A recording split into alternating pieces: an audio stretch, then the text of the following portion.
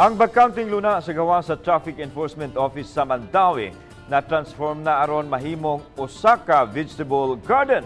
Gusto sa mga opisyal ma-promote ang pananom aron daghan silang anihon. Ang report ni Nico Sereno.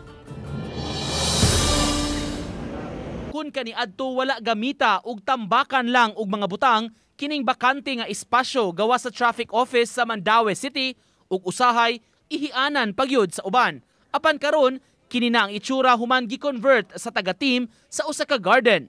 Matud sa labaw sa opisina, nahunahunaan nila nga gamiton ang lugar kay plano sab nila nga mag-advocate gyud og vegetable gardening aron dunay anihon. At least makatabang nila kay kung magkinanglan utan man goy lamigid para sa lawas nga tuwan. So diha pa lang uh, nanama may free nga bugas, ah, bugas plus kana, ang kuwang na lang gamay na lang ang isubak na lang. Ang espasyo sa garden gibahin-bahin sa lain-lain nga mga division sa team. Sila na ang muatiman ug muamuma niini.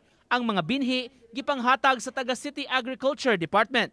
May mga gitahasan aron mag-ugmad sa garden, matagbuntag sa dili pa ang duty. Ug kun mahapon, bisbisan sab ang ilang mga pananom. Mas maayo mga mananong ka sir kay o wala kay budget sa imuhang panood-an di makakuha ka maharvest makaharvest ka.